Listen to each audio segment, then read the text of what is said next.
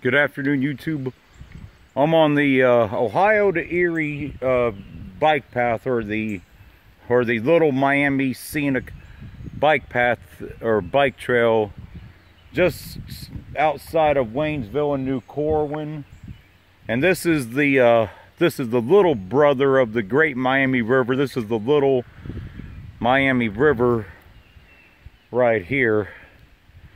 This is the first time where I've had a chance to get a good view of the of the river from the uh, bike trail. And you know, it's kind of funny, despite all this rain, it's a very gentle current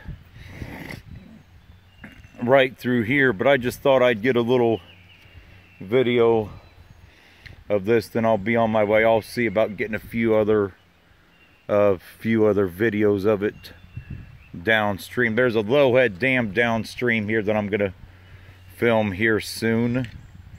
But overall, it's a nice day, and this is right across from Spring Valley Lake, that Spring Valley Lake on the other side of the the bike path here. But uh but so I just thought I'd show the show the little Miami River right here. Here as it's looking back uh back north there's the little Miami River. But anyway, that's going to be it for this one.